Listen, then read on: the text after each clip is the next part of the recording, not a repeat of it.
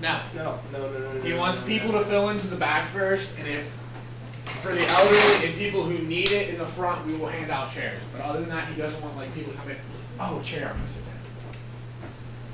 You dig? You need a water bottle? Fill in. What we're trying to around, do, we want tall people in the back, so the smaller people. And you can sit on the tables and on the uh, benches. Yeah, be careful with that bandsaw. You scare me. Oh, that was like a year. Taller people in the back, please. And you can sit on all the tables, on all the lab tables, all of the benches, stools.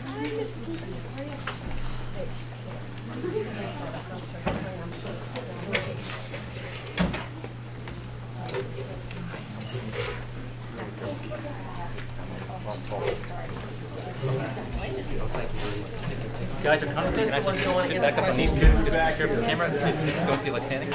Would you like a chair? Good. We do have some chairs for, uh, but we didn't have enough for anybody, everybody, so there are some left. One. You okay? Come on in. Come on in. Yep. Fill in. Sit on tables and benches and stools and everywhere a body can fit.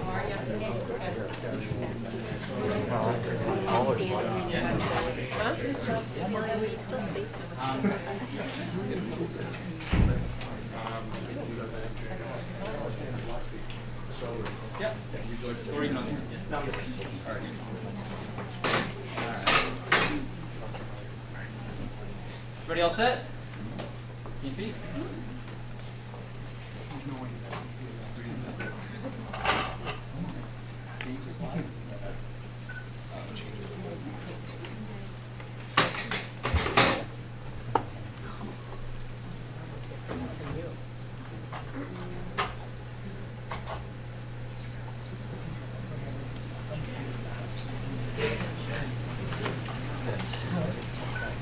Good evening, everyone.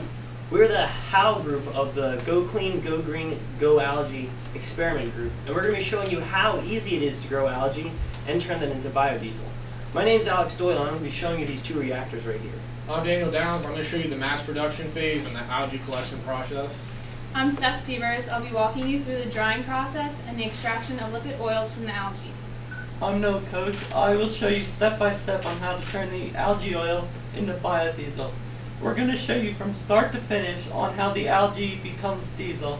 And to start us off, Alex will take the stage.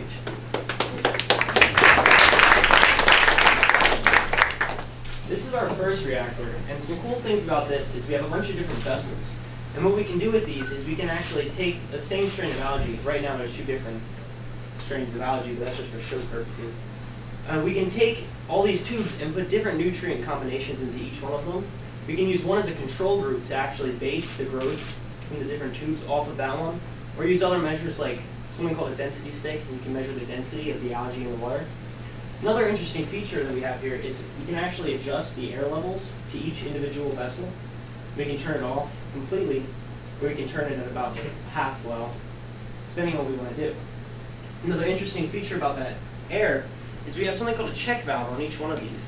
And um, couple people will actually pass them around so you can see up close. But what these check valves do is they actually stop, they're one-way valves, and they stop backflow into the actual tubing. And that allows us, as long as this check valve is on here, we can actually pick up the entire vessel with stuff in it and carry it around the room for ease of access. The nutrients we have on here are just prototype for now, but some of the big three we have are nitrogen. Nitrogen is essential for a lot of plants to grow, and that can help jumpstart our algae growth. Phosphorus was actually used in a lot of laundry detergents, and they stopped using that because as the laundry detergents were flushed and things like that, they would come out of the sewers and actually kill the wildlife there because it would actually spawn an algal bloom, and the algae would actually absorb all the nutrients and kill off all the other things around it. So they stopped using phosphorus in those laundry detergents. Carbon is another one, and carbon is essential to every living organism, it's in every living organism. And it's also part of photosynthesis, which the algae uses to get its energy and grow, along with water and sunlight. Um, why don't we have someone from the crowd come up and try feeding these? Brianna, I know you from Hopewell. You're from Fleetwood, so why don't you come on up? come on up the ladder. I'll give you some plant food. What you're gonna do is you're gonna take this, screw it off, squeeze it, pull the stuff out of there, put it over the vessel. Put it, yeah, put it. Any of them, pick one.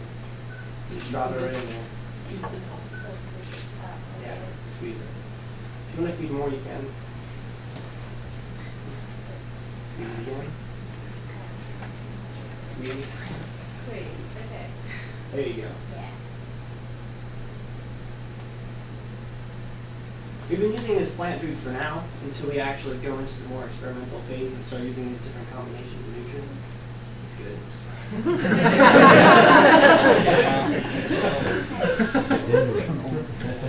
Yeah.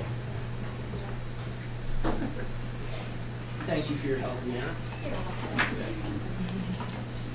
And sticking to the photosynthesis side of the algae, over here we have another reactor. And what we can actually do with this one is we can use these wooden partitions we have here, and we can slide them into slots around the entire thing that we have. We can actually adjust the amount of light that goes to each vessel. We can put things in, the partitions in like that to completely cut off the light, or we could actually put one in to have a minimal light. We're going to eventually paint these partitions black so that they absorb light. And why don't we have someone stick one of these in just so you can see what it looks like. Uh, Mr. Jones? There you go. Come give it a try. Which one's like the black? One right there. Just stick it right back in. Just like that. That's all it takes. You can use that. Very different things. Okay. Now, every living organism has different stages of growth. And for algae, we want to keep it in one specific phase of growth, and that's called the exponential growth phase. That's two right there. Algae starts off in the lagging phase and speeds up to the exponential growth phase, where the algae grows really, really fast. So if there are two algae, it would then become 4, 8, 16, it would double each time, so it grows really fast, or exponentially. With these two reactors, we can figure out what light concentrations or nutrient concentrations are best to keep the algae in this phase, and then we can bring that information over to the larger scale reactors, where Dan's going to show you what we're doing over here. And then we can harvest stuff like that. Um, I'm Dan. Uh, I'm in charge of the mass production part of this experiment. Um, we built a simple A-frame construction that can hold 16 five-gallon water jugs. We currently have eight reactors that are running. Six of them are populated with algae. One went bad, and I'll get to that one later. And one we have with our mascot, Igla the betta fish. Igla is just algae spelled backwards, just a cute little name for it. Um, we collected our algae from a pond in Pottstown, which you can see back here. That all that green on top is a thick layer of algae that rose to the surface because the oils makes it rise. And over here we had a bucket filled where Alex skimmed a whole bunch of the algae off the top of the pond with a pool skimmer and put it in a bucket so we can populate our reactors and start a drying process. And what you can't see in the picture, there was a dock that went to, towards the middle of the lake and it went so far, it went far enough into the lake where the algae was not growing around the oil, or around the algae, and we uh, harvested water from that part so we can populate the uh, algae in a setting where it's familiar and it has all the minerals it needs so far to grow. Uh, some advantages of growing or of collecting algae from a pond is it's free. Um, it's very cheap, or it's yeah, it's free. And uh, everything you see here, we uh, we did off of private donations and grants that we we applied for and we earned, and everything here we built ourselves. Uh, there was no taxpayer dollars involved. It was all us during school, after school, and whenever we were available. Um, some disadvantages, though, of collecting algae from pond is that we're not exactly sure what strain of algae we're using. We, without knowing what strain, we can't tell how much oil we're going to get from each time we press it, and it's kind of hard because the oil variations, it's just we won't know. And then another disadvantage is we get bugs and snails and stuff that if we don't screen the algae good enough, it'll get in the reactor and then it'll die and decompose in the bottom, and it'll it'll just sit there and it'll just smell disgusting. And on, on smells, there are three types of smells. There's a bad smell, which is just algae. It smells kind of like wet grass or seaweed. And then there's a good bad kind of smell where it's just a lot stronger than the first smell. It's that's when you know it's ready to be harvested. If you notice in the front three over here, there's a thin layer of algae on the top, which we will harvest today. And then there's what we call zombie bad. And if you notice here, there's like it looks like dirt in the bottom, but that's just the decomposition of of um, animals or not animals, insects and stuff. And I'll get some out for you and show you.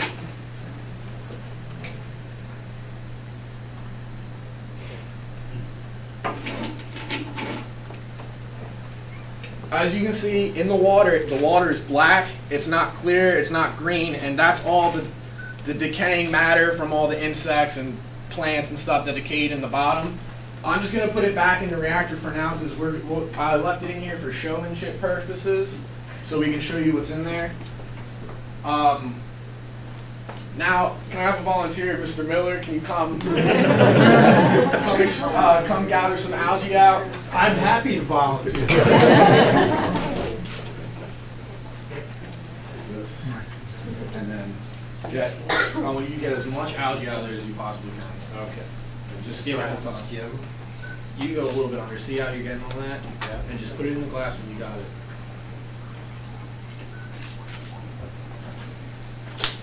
Why try to one more time?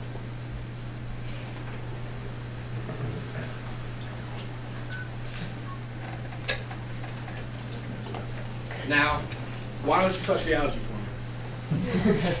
now describe to me how algae feels. Grainy and almost like a little gritty sand. Mm-hmm. Kind of It feels slippery to you. Yeah. Feels like what I used to eat for breakfast. This strain of algae is particularly grainy. Um, the slipperiness to it is the oil on the outside, which is helping it float. And Steph will show you how to extract the oil. So can you please take that over to Stephanie? Absolutely. Thank you, Mr. Miller. If you'd like to wash your hands, the sink is over there available for you. Okay, once again, I'm Steph. I'm going to be showing you how we expedite the drying process and then when we dry the algae. The expedition, the way we are going to expedite our drying is by a process called scraping. But to help me out, I would like Mrs. Sherman to come out and help me. Thank you. Okay, so what we're gonna do is we're gonna use a screen. It's like an everyday screen. You have it in your windows, any like that.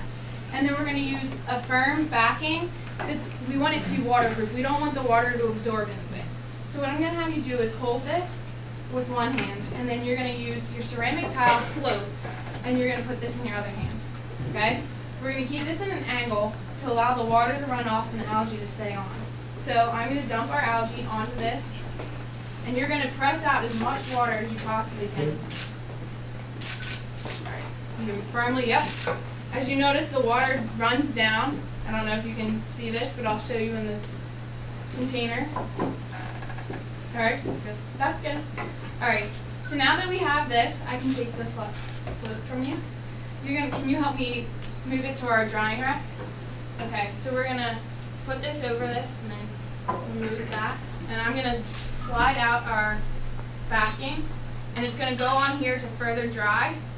And then I'm gonna set this off to the side and I'm gonna have you take our excess water, the little bit of water we have, I don't know if you can see it, right here. It has our algae and we're gonna take this and put it into our container over here that dye.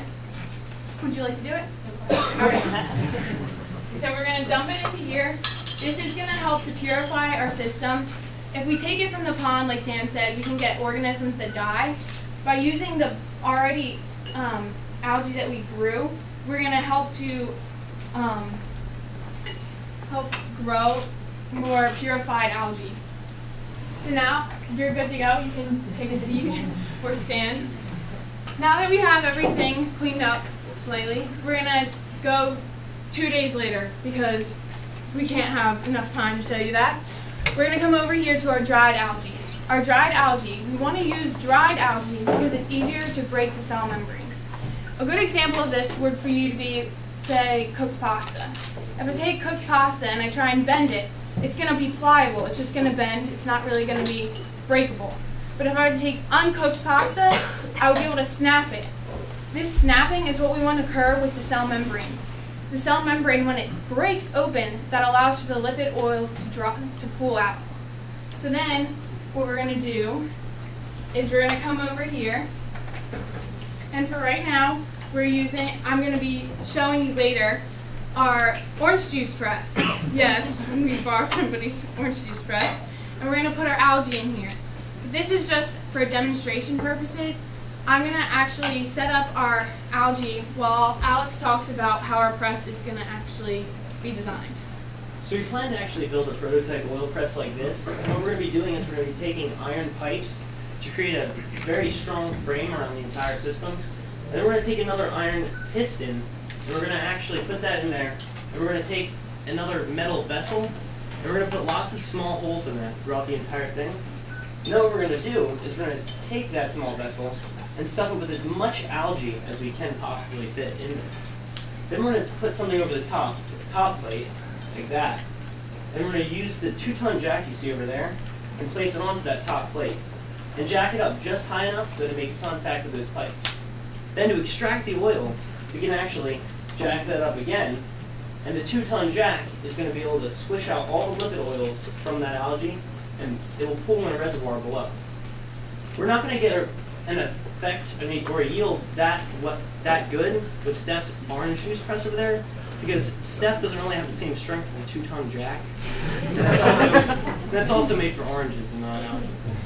Thanks, Alex. Okay. so obviously, I'm not going to be able to get as much out of our press here, but for demonstration purposes, I took our cheesecloth and then I put our algae in it, and I'm going to twist it so it gets a firm seal.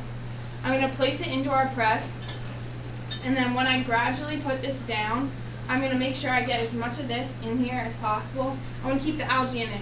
It would be a mess if I let it go all over the place.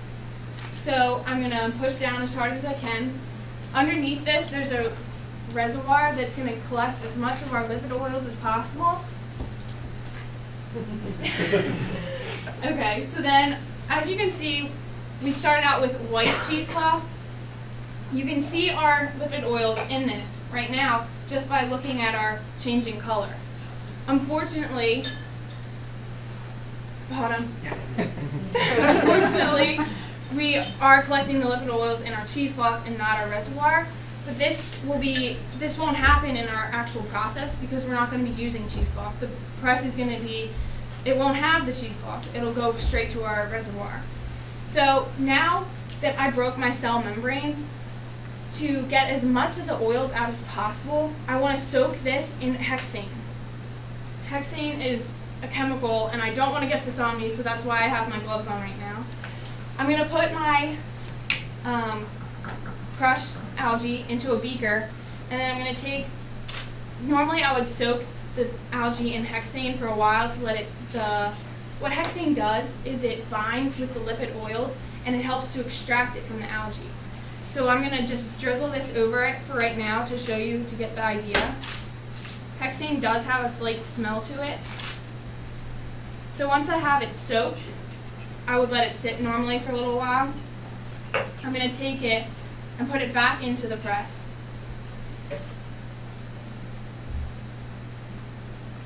And then once again, I'm going to press it. This will now, you should be able to hear it, or the people in front. The lipid oils and the hexane are going to extract from the algae. When I take out my reservoir, you can see our hexane and the lipid oils. Now we're going to put it into the beaker so you can actually see it. Okay. So there is our hexane and lipid oils. Now, when we convert our hexane, when we convert the lipid oils to our diesel, we don't want the hexane. So what we do is we put it into a still. The still is going to boil the hexane and the lipid oils to about at 60, 60 degrees Celsius. At 60 degrees Celsius, the hexane will evaporate, but the oils will stay inside the beaker. So when this the, the hexane evaporates, it goes inside the still to the cooling coils, and then it's going to condense. When it condenses, it'll go into another beaker, and we'll be able to reuse this hexane so we're not losing any products. This is just another way we're, re- we're recycling everything we use. Now that I have my lipid oils, per se, because I don't have enough right here to actually show you what's going to happen from converting it from lipid oils to biodiesel, Noah is going to show you using your everyday vegetable oil. So, here you go. Thanks, Steph. Okay, so as you may have noticed, I've been measuring things out and doing chemistry-like things. So I weighed out two and a half grams of sodium hydroxide, which can be found at any hardware store, and it's just a drain opener. I measured 110 milliliters of methanol, which is found in heat, which can be bought at Walmart, and it's a gasoline additive. And then I have vegetable oil, which I, I have 250 milliliters of vegetable oil, which I'm heating up to 135 degrees Fahrenheit. So Celsius. Celsius. Now you see why we're standing so far back. Okay. So, um, I need some help with this. So, Dr. Ulrich. His gloves and goggles.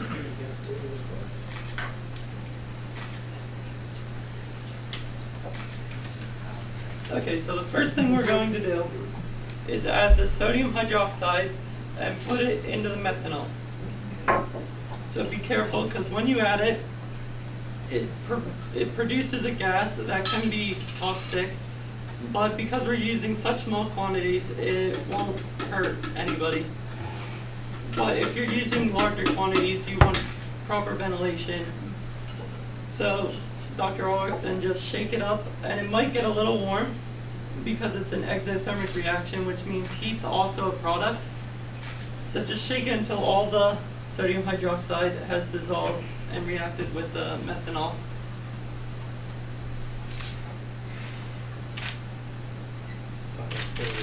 No, it won't explode.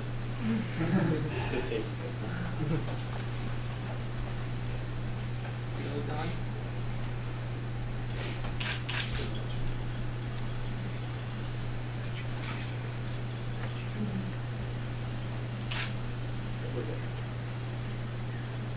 It's there, huh? Yeah. Okay. So, now, we're, you're going to take the oil and put it into the, um, funnel.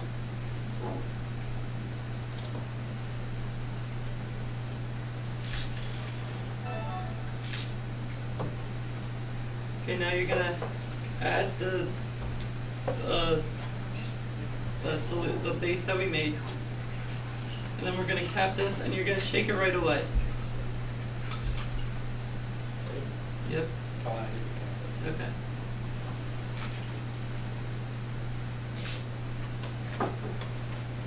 So now shake it real well and it, there will be high pressure, so up and relieve the pressure because when there's constant volume and temperature increases, then pressure also increases. Okay, yeah, you shake it for five minutes, but since we don't have that time, Dan will take it to the back room and continue shaking. okay, that's it. You can deglove and head back. Okay, so the reaction that occurred we had our triglyceride, which was our fat. We had the methanol, and we had sodium hydroxide, which was our catalyst. This reaction can't occur unless the catalyst is present. There are two products that are formed from this reaction, and that's the biodiesel and the glycerol. Glycerol is just your everyday soap that you use. There are R, there's R1, R2, and R3, and they aren't uh, actual elements they're unique to certain uh, fats, and they become part of the biodiesel.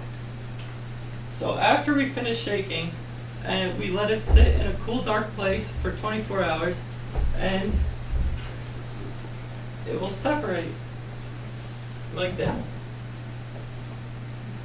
The bottom is the glycerol, which is the red stuff, and then the yellow stuff on top is the biodiesel. So what we do next is we pour them off, pour off the biodiesel,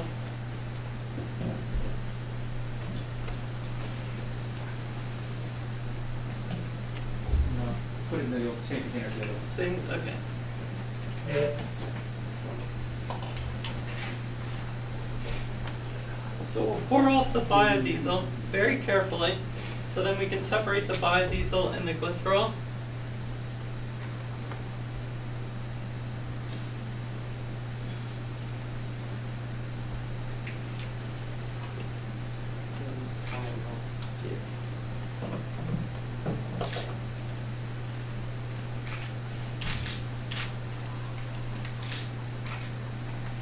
And we go nice and slow until the only thing left in the original bottle is the red glycerol.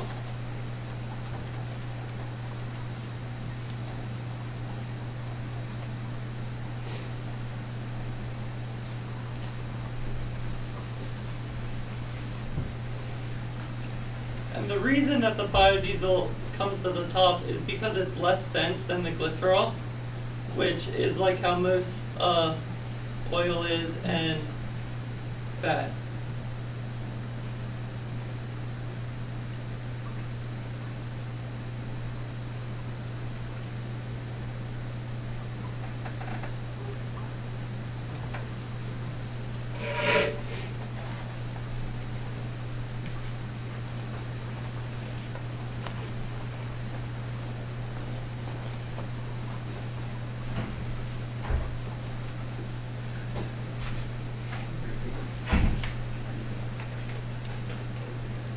So this is the glycerol, and this is the biodiesel. And after this, we wash the biodiesel to make it more clean. So we put uh, warm distilled water in, and then we recap it, and we slowly shake it, slowly rock it back and forth. And that gets any other glycerol, because it binds with the water, to come to separate from the biodiesel. And that's how you go from algae to biodiesel. Are there any questions for anything that you've seen so far? Yes? If somebody had a pond and really didn't want to utilize or, or have algae in their pond, based on what you've presented here, what would be the best environment for them to prevent that? For the algae to grow, For it to not, yeah, for it to not grow though. for not to grow. It's not really something you can prevent that easily. You'd Yeah. have to use like chemicals and stuff in your pond, I would imagine. Strictly chemicals. Yeah. That's also something we didn't really research. We were researching more of like how to grow it instead of how to kill it. But based on what, based on what you, kill one and. Yeah. based on what you, yeah, based on what you did, what was the least conducive environment from what you've done so far? no nutrients. Like if things, if the pond, I guess, if there's nothing in the pond to filter it and things will just like die at the bottom, I think that would kill most of the algae. Yeah, if it lacked nutrients, that that would be mostly what would kill it. And if it didn't have a lot of light, because it does, it is, it does use photosynthesis, and it needs that sunlight too. Later on in this plan, you might want to just donate the algae.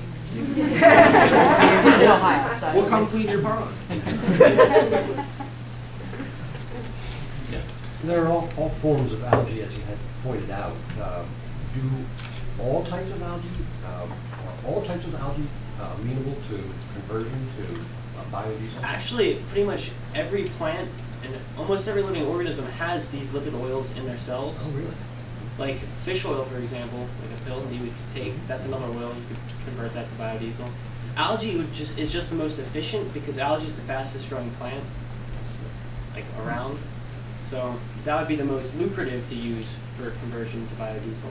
But essentially, you could use almost anything. Some things might not have as much oil, but they all have it. And one thing you'll learn in the in the Y section, they'll have a graph or they'll have a, chart that will say like per acre per year, corn will have about 18 gallons of uh, oil per acre per year. Um, the next, what they, the next leading one besides algae is palm, and that'll be about 50 to 60 gallons per acre per year. Algae, if you if you harvest it and get the best strain possible, you can get a, a thousand five hundred to about five thousand per acre per year of oil from just algae. Any other questions? Okay, so if anybody would like to come up and take a closer look at our construction and our vessels experiments, you can do so now. And if you're, if you're done with that, uh, they're gonna be reconvening in the Annex Cafe, there's gonna be some food in there, and then eventually we're gonna swap over and be taking this group over to the other team, which is gonna present why we're doing all this research. Thank you very much.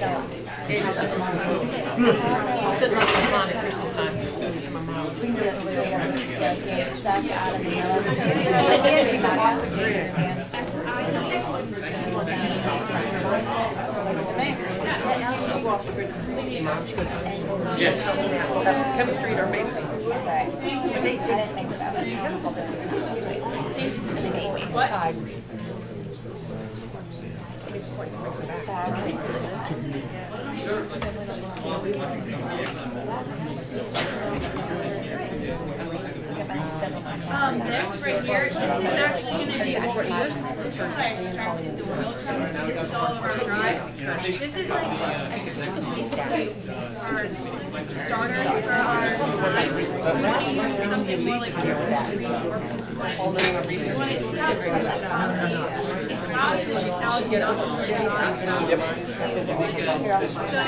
right now, we used all of our, mean like, pressing?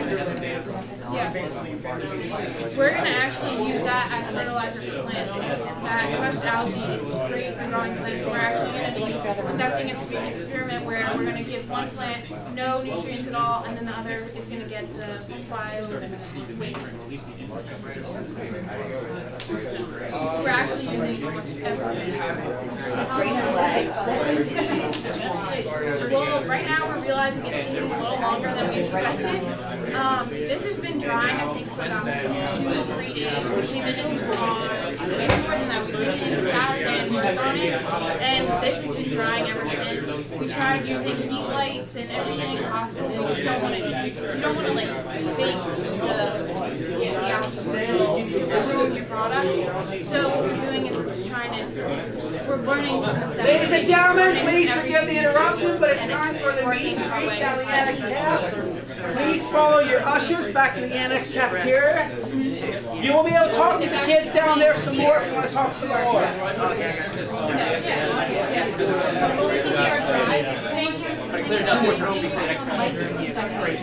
Okay, good. Um, And then the the reason best time to do the great for after the interview, but you didn't miss the presentation. The last word is my question. We, show, we show the No, no, no, they're-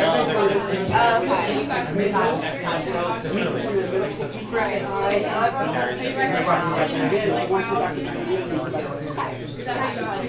and gentlemen, let's head down to meet and greet. Miss Seegers, take again with And I'm not telling you why we're Oh, we gotta completed real quick. Yep, that was steps, that's it. Yeah, make your phone. No, they're, they're, um. Need to know information, right? Doesn't need to know. My shirt used to be. Okay. She went over the city, and she was going her job.